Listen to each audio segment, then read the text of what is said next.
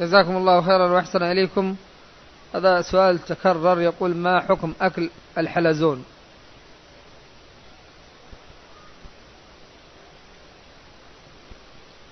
الذي ظهر لي في المسألة أنه يجوز. وهذا طبعا أكثر من يسأل عنه إخواننا من جهة المغرب. الذي ظهر لي في المسألة أنه يجوز.